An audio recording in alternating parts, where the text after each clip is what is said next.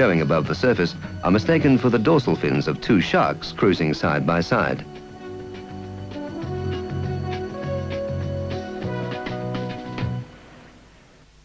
This mistake of identity should be the only terror the manta ray can cause. Eva rides the soaring magic carpet in the clear water at Lady Musgrave Island on the southern end of the Barrier Reef. Their elegant Spanish name, manta, translates simply as blanket.